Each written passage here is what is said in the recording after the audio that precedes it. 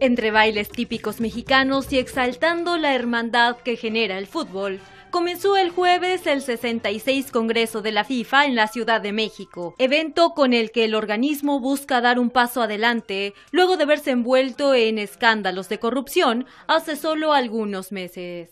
El presidente de la FIFA, Gian Infantino, dio la bienvenida a los 209 representantes de países que integran el organismo que rige el balompié a nivel mundial y participarán en el Congreso de dos días. Queridos locos del fútbol, bienvenidos, welcome, welcome to the opening ceremony of the 66th FIFA Congress here in Mexico City. Según el propio Infantino, el Congreso tiene como finalidad mostrarle al mundo que la federación está tomando muy en serio las reformas y que buscarán traer de vuelta el fútbol a la FIFA.